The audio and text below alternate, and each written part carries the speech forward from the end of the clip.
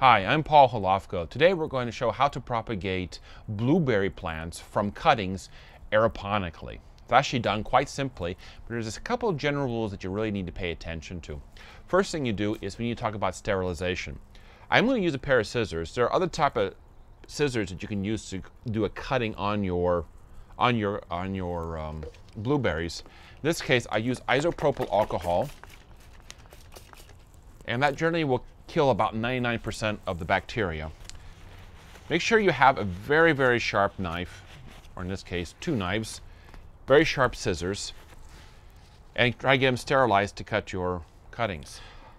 Okay, I have a blueberry cutting. Here's the bottom, here's the top, and I remove all the leaves so that it doesn't lose water. And I take the scissors and I need to cut it at an angle, very large surface area. So you get a nice clean cut with sterilized scissors.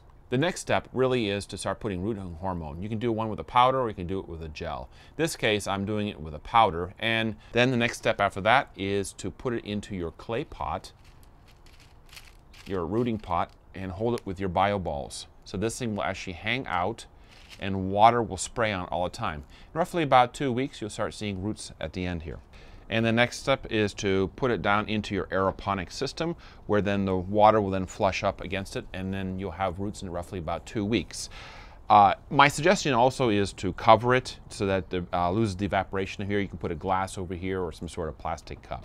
So in roughly about two weeks, you actually start seeing some roots coming out the bottom of your cutting if there's no sterilization problem.